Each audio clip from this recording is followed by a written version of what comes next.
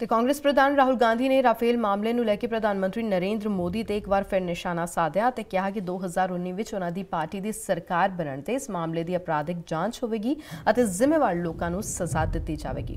ਰਾਹੁਲ ਗਾਂਧੀ ਨੇ ਵੀ ਕਿਹਾ ਕਿ ਵਿੱਤ ਮੰਤਰੀ ਅਰੁਣ ਜੇਤਲੀ ਨੂੰ ਉਹਨਾਂ ਤੇ ਹਮਲੇ ਕਰਨ ਦੀ ਬਜਾਏ ਰਾਫੇਲ ਮਾਮਲੇ ਤੇ ਦੇਸ਼ ਜੋ ਸਵਾਲ ਪੁੱਛ ਰਿਹਾ ਉਸ ਦਾ ਜਵਾਬ ਦੇਣਾ ਚਾਹੀਦਾ ਹੈ।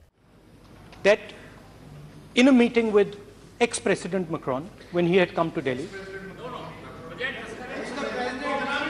sorry, I'm, I'm sorry, I'm sorry, I'm, I, I apologize, please, I, I apologize, I make mistakes, I'm not like His Highness, Royal Highness, who does not make mistakes.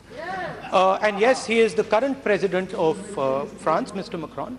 In a conversation with him, I asked him the question whether the secret pact signed with the government of India included the price of the Rafale aircraft.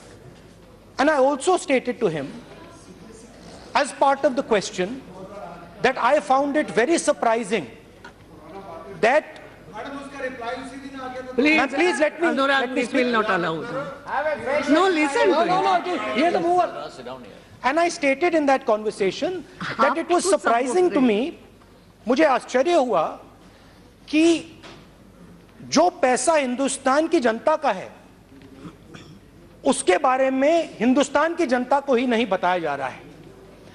And in response President Macron answer